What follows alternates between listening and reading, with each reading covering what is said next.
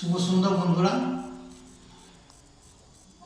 বর্তমানে যুদ্ধ বিগ্রহ লেগে আছে, আপনারা জানেন, সেই যুদ্ধের উপর লেখা আমার একটি কবিতা, যুদ্ধ যুদ্ধ খেলা।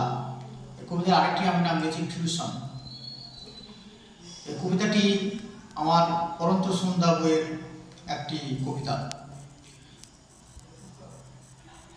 যুদ্ধরা দাপিয়ে বেড়াচ্ছে সারা বিশ্ব জুড়ে।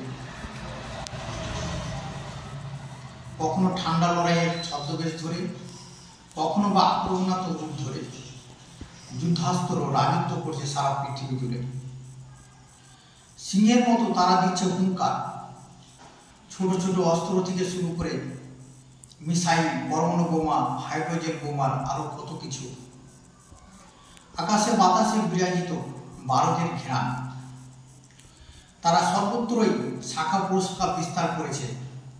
গ্রামে শহরে, দেশে দেশে, এমনকি মহাকাশে। তাদের রেডিয়েশন মানুষের মনে মনে ছড়িয়ে পড়েছে। অনুরণন হচ্ছে পুঁজিবাদের দামমা প্রায় সর্বত্রই যুদ্ধ যুদ্ধ, খেলা আর অস্ত্রের প্রতিযোগিতা। শান্তিরা কোণঠাস হয়ে পড়েছে জানি।